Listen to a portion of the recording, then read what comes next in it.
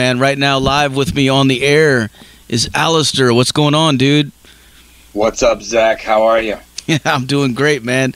So, uh, so tell us what's going on in the world of From Hell. Well, right now we're just things are we're kind of at a standstill at the moment. Um, we did we're actually at this very moment supposed to be on tour in Europe with uh, Atheist and Cadaver and Smart Crown, but you know because of COVID, everything's been postponed. So, but that tour has been rescheduled to February, uh, middle of February to March. So, I just, you know, I, we all hope that this COVID thing is past us by then, so that we can actually go do the show, and you know, we hope that things are cool so that people can actually fucking come. Fuck yeah, man! What a killer fucking lineup too, dude. Thank you, man. Yeah, I, I love playing with these guys. They're they're awesome. They're they're all just awesome musicians. So I love jamming with them for sure. Yeah, all all all this whole year, dude. Like you know, every band that I've fucking interviewed so far, man, it's it's the same fucking. uh it's the same fucking thing, man. You know, like everybody had these fucking huge tours fucking booked, fucking uh, you know, lots of new albums coming out, fucking just I mean, you know, and uh, fucking Corona dude just came in and fucking fuck. devastated everything, everything. It's it's it's just it, it's mind blowing. You know, I just can't even fucking believe it. But you know, what are you gonna do, huh? yeah, yeah. For sure, man. And it's not even just that, too. Like, 2020 has just been full of fucking hits left and right, dude. Like, it's just, if it's not one thing, it's a fucking another, man. Yeah, this year's just, we're getting hit. You know, we're just I don't know what it is. I, I can't wait till things calm down a little bit so that we can get back to living and having a good time. But this whole stay in place thing, I you know, I fuck I rarely leave my apartment anymore. Go to the store, that's about it. Get dinner and come home and then I sit here and uh, work a little bit on music and I'm uh, actually doing some video stuff these days too. So, you know, spend a little bit of time trying to brush up on that, get better at it.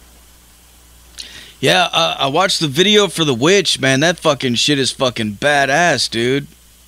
Thanks, man. Yeah, we had a lot of fun making that. That was a uh, yeah, we had a lot of fun making both those videos actually. But yeah, yeah, we had a good time making the witch.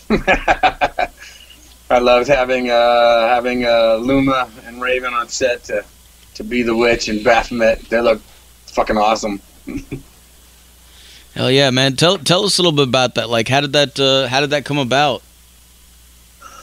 Uh, you know, my brain just works overtime always, and you know, after we, you know, when uh, actually when we came back from Russia a couple of years ago, uh, we had two songs for this album that we were that we wanted to test out and see.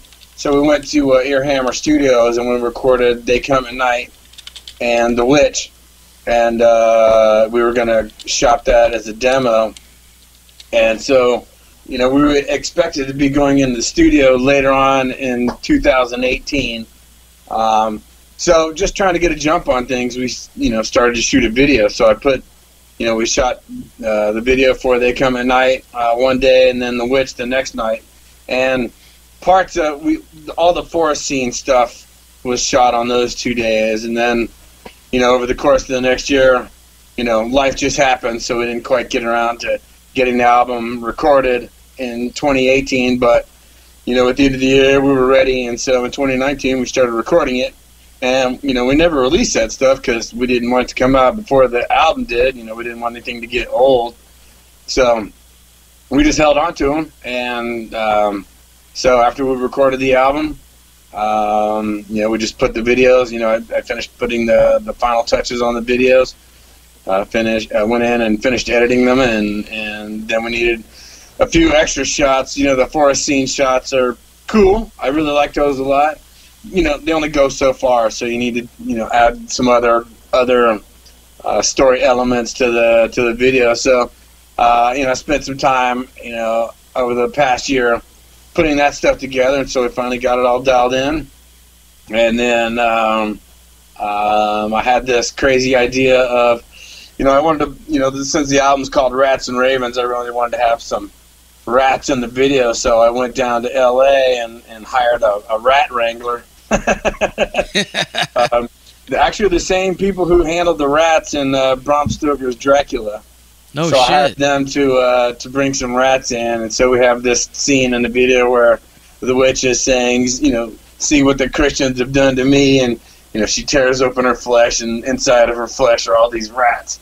So, um, and that's kind of the you know the the gist of the story, you know, right there. So, Oh. but um, um, my friend uh, Raven, they um, uh, they've been doing this uh, she, uh, this uh, Charles Dickens uh, fair every year, and she and they designed this um, this Baphomet costume, and I, I saw it and I thought, oh man, that's just awesome. I got I got to ask I got to ask uh, them if they want to be in this video, and and they agreed. So, um, and and then I asked Luma if she wanted to be in it, and she said absolutely. So, um, I just kind of worked out some details of what I was looking for for the story, and uh, finished shooting that part. And then just over the last you know a few months, finished editing it and put it all together. Man, that's fucking badass, dude. And I, and I gotta say, man, uh, Bram Stoker's Dracula is definitely one of my fucking favorite all time movies, man, for sure. Yeah, mine too. So there was certainly some uh, some uh, influence from that movie in this video. God, what a trip, I don't know man. if anybody's gonna pick up on that, but maybe. Hell yeah. So, uh, so as and uh, also the album art, man, fucking uh, the the the uh, the art on this album cover is fucking so badass, dude. I gotta ask you about that, man. How did you guys come up with that? Uh, the artwork for the album was designed by a guy named Pete Novak. Uh, he's in, uh, and he works down in L.A.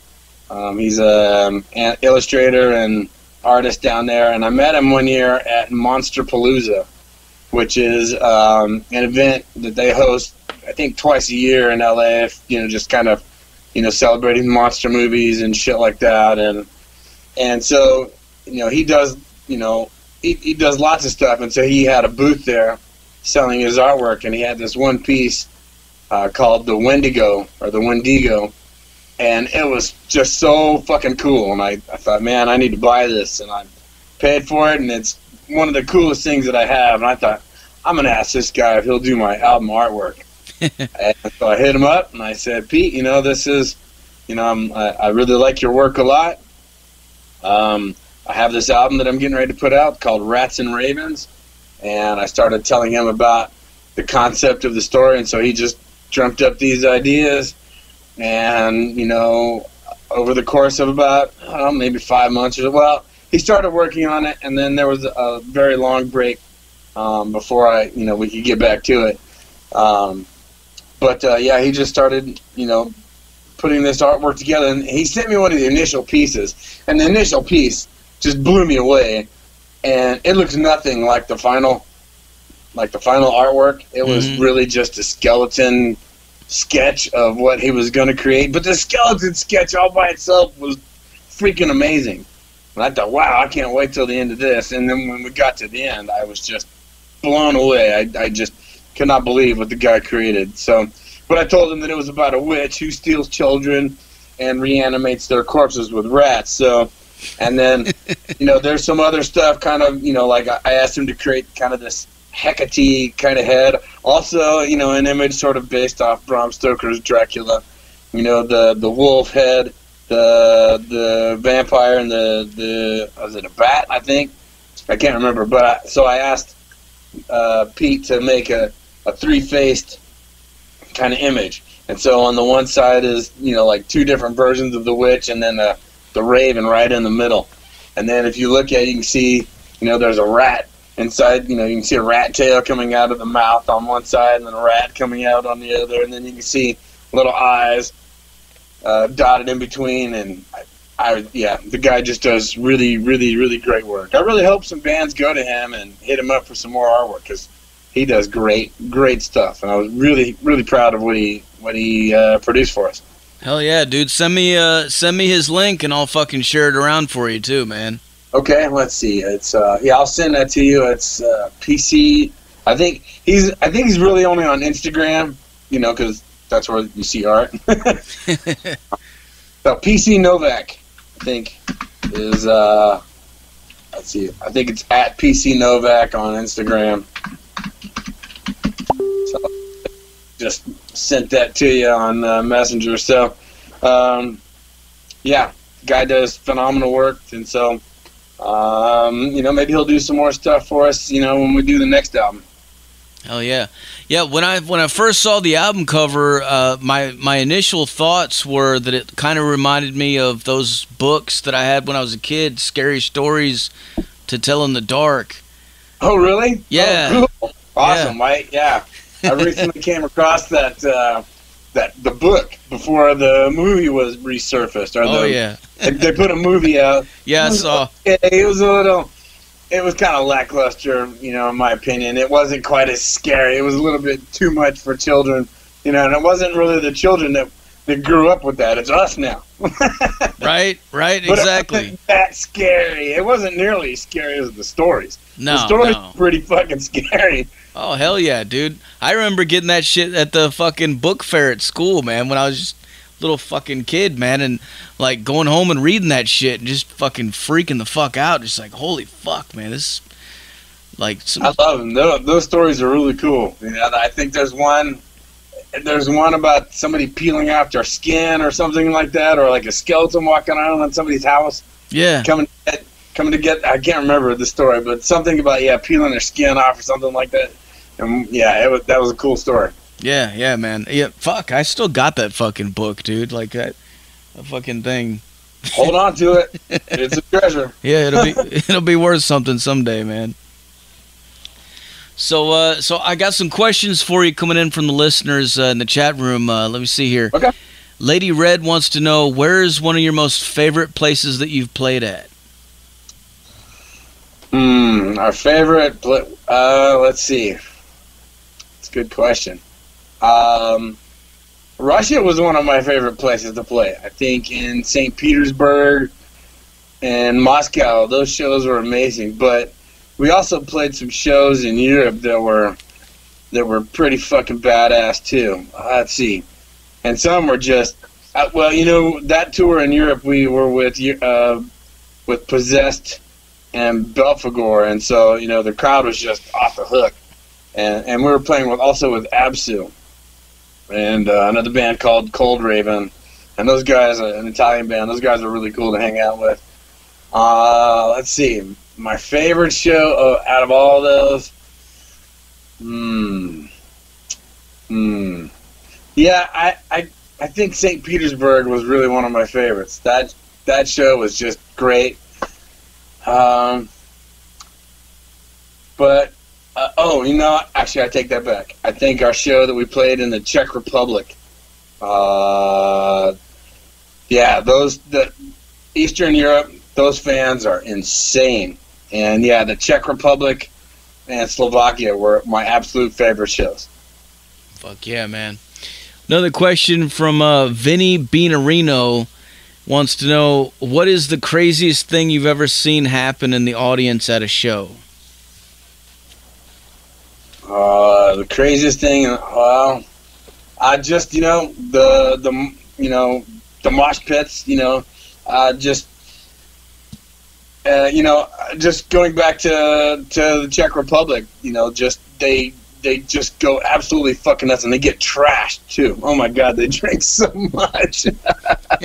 but you know, they would just get fucked up and just knock shit over and you know, when you leave at the end of the night, there's people, you know, just laying on the floor, you know, legs up on the wall because they're fucking passed out and shit like that. Um, just people just getting just fucked up out of the minds. Um, I, you know, that's probably, um, you know, because you know we get on, you know, once we get off stage, you know, we go in the back, and you know, there's other stuff happening out there. So, but for us, you know, just people just getting fucked up out of the minds, and yeah. Speaking of fucked up, uh, wants to know: Do you like vodka? Yes, yes, I will drink vodka. um, I, I don't drink it a lot, but I do like it. And the Russians drink the fuck out of out of vodka. Oh my god! It, it just every night, every night the Russians had vodka, and yeah, they live on it. It's like water. We went into a place that was like uh, called Globus. It was like a giant Costco over there, and they had an aisle that was maybe 50 yards long, all vodka. Like, how, how many different kinds of vodka can you come up with? they had it. They had 50, 50 yards of vodka in this store. Jesus fucking Christ, man. That's a lot of fucking vodka, dude. Yeah, they can they can pack it away, man. They can pack it away. It is that is a no shit statement. Well, for you uh, personally, what is your favorite drink of choice? Uh, I'm I'm a beer guy. I really love beer. I really like Racer Five. Uh, that's usually my go-to when I go to venues is Racer Five. Hell yeah, man. All right. I got another question. Uh, Lady Red wants to know bubble baths or showers? Showers. What the hell?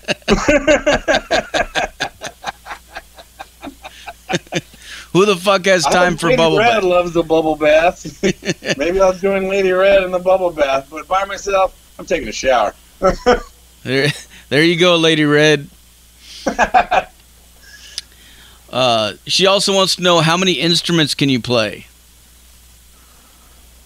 um, do air drums count? I don't know. I guess. well, I play the air drums extremely well. Um, mostly just guitar. Um, I yeah, I'm just a guitar player. You know, I, I guess I play guitar and I sing. Um, I I could play bass, but I, I would never claim to be a bass player. You know, I, I would end up playing bass like a guitar, and I just I, I think the function of bass is very different than what the guitar is supposed to do. So, yeah, I'm a guitar player, and I my other instrument is guitar. Oh yeah. Uh, another question with Halloween coming around the corner. Uh, any crazy haunted uh, venues that you've played at? We would love to do that. We would love to play, you know, any sort of, you know, haunted mansions or haunted festivals or anything like that. Just, you know, at at the moment, none of that kind of thing is going on. But we would actually, you know, bring our own kind of Halloween show. The closest we had, we played a Halloween show a couple years ago with Helstar uh, at the up, yeah, at the Uptown in Oakland, and uh, we had our stage show there and. And when we usually when we do the local shows, I had throw on a pretty good show, and I have zombie dancers who get up there with us, and so I have these lovely, beautiful girls who wear very little. They uh, you know put on a black robe and and and a black thong, and then uh, Baphomet pasties, and then smear themselves in blood, and they have corpse paint on, and and they have a good time. Fuck yeah, man. But that's that's what that's generally what we well that's what we want to do for Halloween. What's funny is we actually end up doing that at Christmas. Hell yeah. our Christmas show every year is is probably our best show here in in uh, San Francisco. Although we didn't play it last year, but we played it. We played this Christmas show for Carla LaVey. Uh, Carla LaVey is the daughter of Anton LaVey, the uh, founder of the Church of Satan in San Francisco. Fuck yeah. and she asked us to uh, play her Black Xmas party one year. And uh, I, I actually that night that she asked me it was the night I met King Diamond. Oh shit. Yeah, that was that was pretty cool. So uh, I'll tell you this story. We were at uh, went to see King Diamond in 2015 uh, at the Warfield, and I have a bunch of friends who know King Diamond. We were, you know, me and my girlfriend were there. and We're hanging out, and you know, I was trying to get my friends who know King to, you know, you know, help me meet King. You know, I want to meet King, and you know, everybody's running around, everybody's busy, and then you know, the show was just amazing, awesome. And so we're hanging out, waiting at the end, and then they're kicking you out of the building, like you gotta leave, you gotta leave. We stood in line. We were the last people in line to get merch. So we got our merch, and we're like, well, let's go hang out by the bus. Maybe we'll see him out there. So we're standing out back, hanging out there, and we see a few people come out, and then we see Mike Wead walk by. It's like, oh, hey, look, there's Mike Wead. And shake his hand, like, hey, man, how's it going? Blah, blah, blah, blah, blah. You know, and he, as he walks by, I'm like, man, that sucked. I don't want to meet King Diamond like that. I was like, fuck it, let's get out of here. I don't you know, I'll meet him the next time he comes to town. So we left. Me and my girlfriend, we take off and we go to uh, Tommy's Joynt, a pretty famous restaurant in San Francisco. And we're sitting there having dinner, just doing our thing. And, you know, a couple friends come through, we see them and they leave. And just as we're about to leave, this guy comes over and puts his hand on my girlfriend's shoulder and goes, How did you enjoy the show? And I look up, and King Diamond is standing at my table. Holy shit. I about lost my shit, man. I was 16 years old all over again. It was great. but yeah, King Diamond came over and started talking to us and said, Hey, what's going on? You know, and talked to him for a little bit. I told him about my first album called Ascent from Hell, and he's a character in in the in that story, um, or I named a character after him. There's Father Peterson, just like King Diamond named uh, a character in his Abigail, uh, uh, the Le, the LaFeys, you know, which he named after. You know, I, I would assume he named after Anton LaVey. Um, so I said, well, you know, you're a character in my story. I named I named my character Father Peterson. Uh, he thought that was pretty cool, and so you know he's getting ready to eat dinner, and and he's sitting at his table is Carla LaVey. And and you know I'm telling King Diamond that my band is called From Hell, and she looks at me, she goes, "Your band is called From Hell." I said, "Yeah." She goes, "Do you want to play my Black Xmas party on Christmas night?" Yes, we do. Fuck Without yeah, hesitation, man. yes, we do. I didn't even ask the band. I just said, yeah, we're going to play. Hell yeah, dude. I'm about to say no in front of King Diamond. I was not about to go, oh, you know, let me call the band, see if everyone's going to be in town that night. Yes, we will play the show. Hell yeah, dude. And from then on, uh, we played our show three times. And I got to say, those are the best shows that we play in, in, in the Bay Area. The show's just packed every time, and everyone, everyone has a great time. And yeah, so we just love it. So uh, you know, I definitely want to thank King Diamond and Carla LaVey for those. That's really cool, man. Love King Diamond, dude. I, I wonder what the hell he's doing right now, cause uh, I know, like, he released a, a new song earlier this year, and then all this COVID shit happened, and I don't know, like, I haven't seen anything about him in the news or anything since. Yeah, he might just be hanging low. He might Yeah. be, you know, fuck this. I'm not going outside. I don't go outside, not unless I have to. Of course, here in California, it's really bad right now with all the smoke. But, but yeah, he's probably just laying low at the moment, and then you know, trying to release something right now. You know, as I found out again the hard way, it's uh, you know, it's a hard, bad time to release music or just tough time. We thought it might be a good time because people are stuck at home, not able to go anywhere, so they're going to sit there and listen to music. But really, you have to tour. Without touring to support to support the album, it's just kind of uh, you know people want to see live. Yeah, yeah, for sure, man. Um, speaking of live, uh, another question from the listeners: uh, Where would you like to tour next? If you could, uh, if you could play anywhere.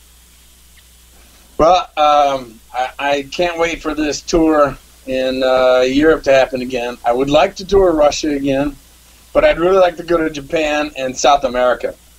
I think those would just be amazing places to play. So, you know, maybe hopefully down the line, you know, we can, you know, get our shit together or not not get our shit together, but you know, figure out how to get to these places to to tour because uh, I just, you know, we've gotten a pretty pretty amazing response from from uh, fans in South America, and um, and then when we toured Russia, uh, a few people had heard of us, but people really really liked what we were doing over there, and so I can't wait to go back.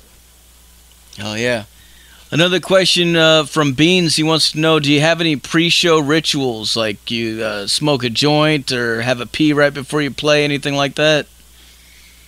Um, I usually I like to have at least one drink just to kind of calm the nerves a little bit.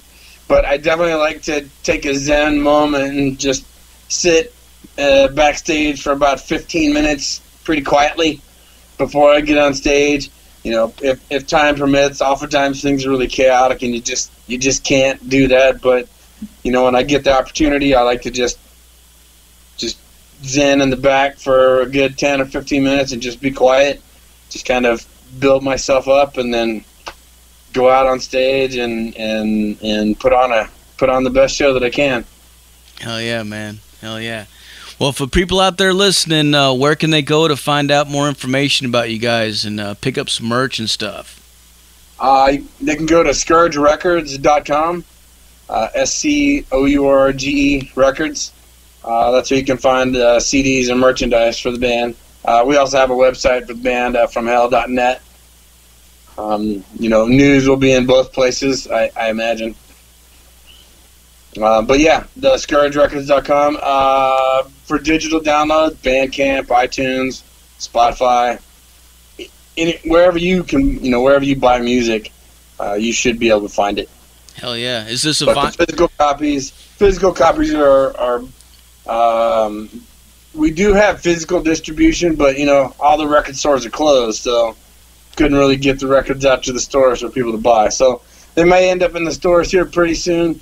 Um, but otherwise, you can certainly um, uh, contact Scourge Records for for um, uh, physical CDs, and then uh, we also have you know, hoodies and uh, T-shirts. We just got some T-shirts, and today we just got uh, some from Hell embroidered patches, and that, that look pretty cool. So pretty stoked on that. So I think we're gonna have a, a package deal or a bundle deal that's that's going to be available next week.